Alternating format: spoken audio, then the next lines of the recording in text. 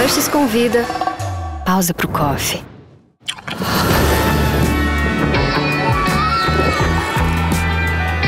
Todo mundo merece essa pausa.